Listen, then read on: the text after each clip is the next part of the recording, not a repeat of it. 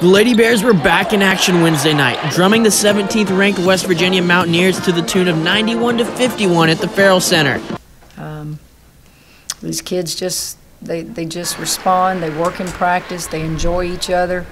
Uh, they're pulling for each other. The Lady Bears were stingy on defense and ruthless on the boards, out rebounding the Mountaineers 58 to 31 thanks in large part to Lauren Cox, who collected 13 rebounds, and NaLyssa Smith, who snatched up 10 rebounds on top of her 10 points to record her 10th double-double of the season. Just on in practices rebounding, like for like an hour or something, we'll just throw the ball up and rebound, rebound, rebound. so when I get in the game, I know that's my main goal is to rebound. I know it helps my team a lot, so we've been rebounding a lot, like good a lot lately, so that's just the plan to stay on track.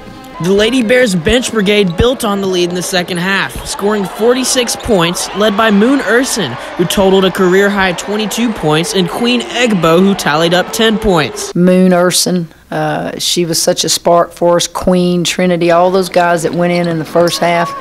Um, that gives me confidence as a coach. It gives me confidence that they're confident now. And when you have a team that, that's doing those types of things that deep into your um, bench, you're going to win a lot of basketball games. With the win, the Lady Bears extended their regular season conference winning streak to 45 games and seem to be primed to make yet another run at a national title. We just have so many weapons. Um, Elsie, uh, she continues to dominate, and you got Liz, just a sophomore, killing it, and our guard play is great. So um, I think knowing that we can do it and just the way we've been playing, and uh, we're all pulling for each other, like Coach said that makes a big difference. Reporting for Lariat TV News, I'm Nate Smith.